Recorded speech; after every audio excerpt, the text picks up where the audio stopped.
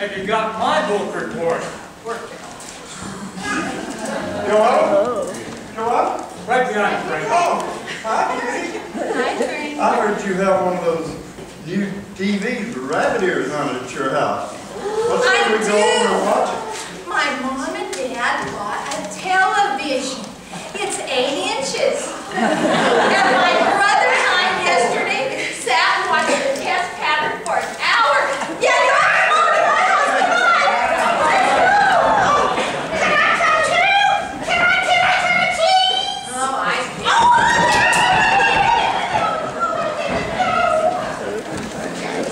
surprising.